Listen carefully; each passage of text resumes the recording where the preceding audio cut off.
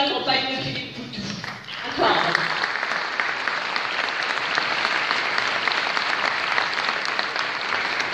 Merci, bonsoir.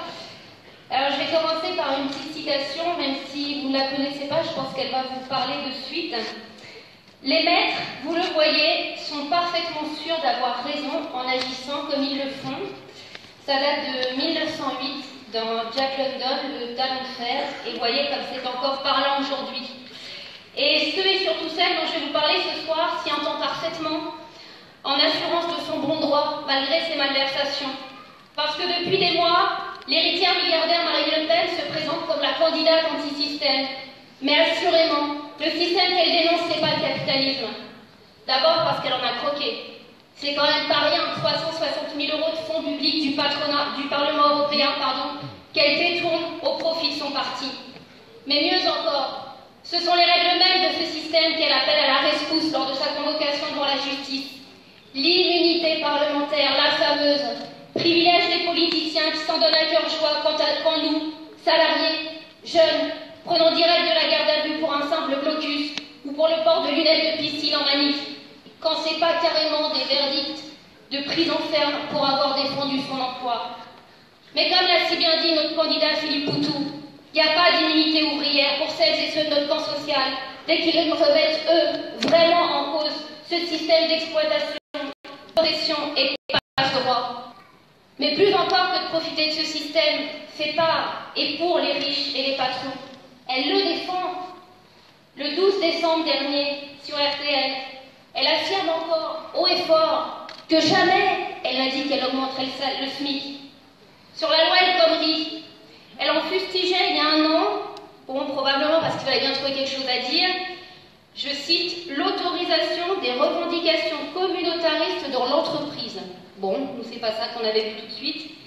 Mais quand elle parlait de la mobilisation, elle la caractérisait comme une spirale de tension sociale, je cite toujours, inquiétante et de chaos, quand la majorité de la population, au contraire, soutenait le mouvement.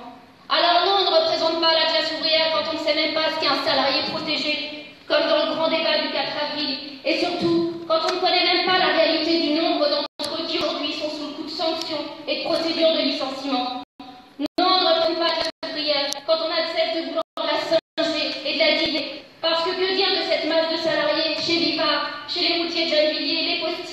ou encore les travailleurs saisonniers des cocos de Paimpol dans les Côtes d'Armor. Elle n'est pas blanche, arienne et catholique, elle ne l'a d'ailleurs jamais été. Mais surtout, elle a tout à gagner à unir ses forces, comme à chaque bataille déterminante de son histoire, en 36, en 68, ou encore récemment contre la loi El Khomri.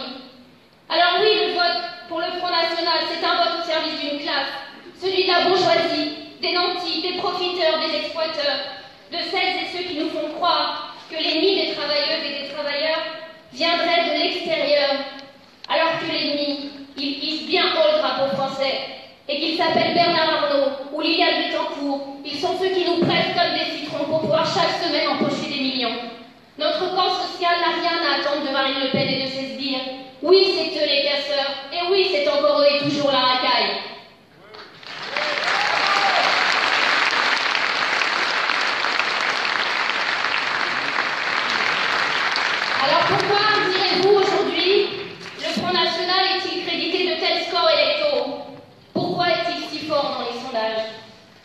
Parce que 40 ans de droite comme de gauche, 40 ans à taper sur tous les acquis de notre camp social, à faire des cadeaux au patronat, à chasser les étrangers, à réprimer la jeunesse, à développer la misère et les guerres, à brûler les camps de Rome, à expulser les réfugiés. On fait le lit du Front National, mais encore plus largement, des idées réactionnaires qu'il a fait intégrer à une large partie des politiciens de tous bords.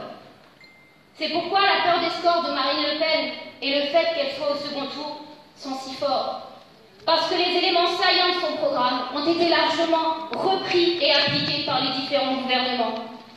Et à ce titre, le Parti socialiste au pouvoir a lourdement fait le job durant toute la présidence d'Hollande.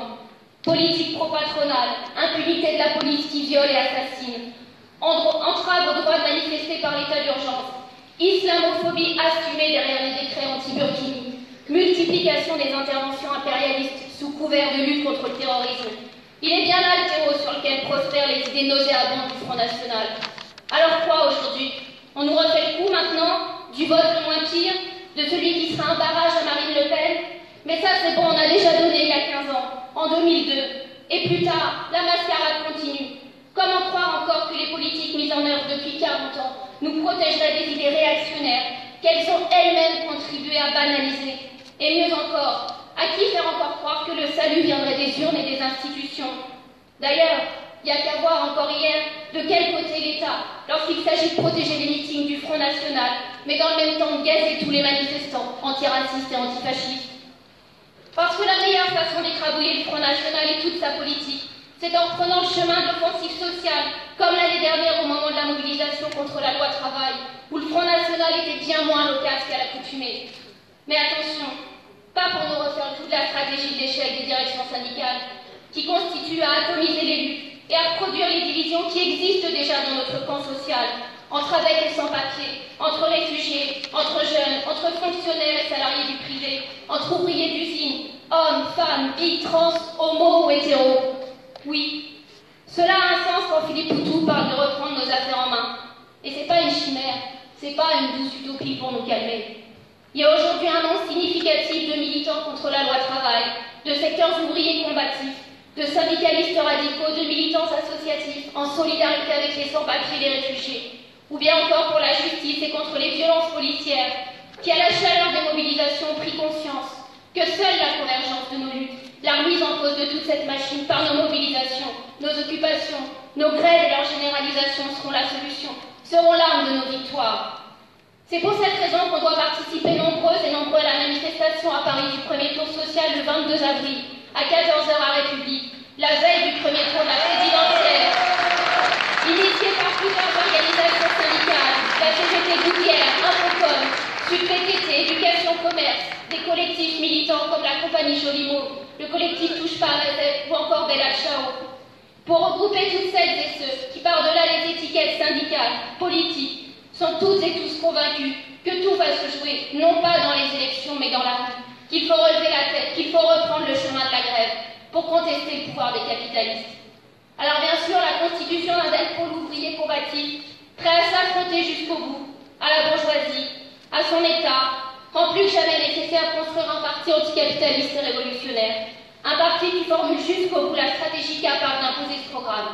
Et ce parti aujourd'hui, c'est le NPA. Et comme le dit la chanson, il n'y aura pas d'arrangement. Et en 2017, décidément, c'est clair, il faut que ça pète avant, pendant, après les élections, montrons, toute toute notre détermination. Et le 23, votons Philippe Poutou pour un vote de conscience, mais encore plus pour un vote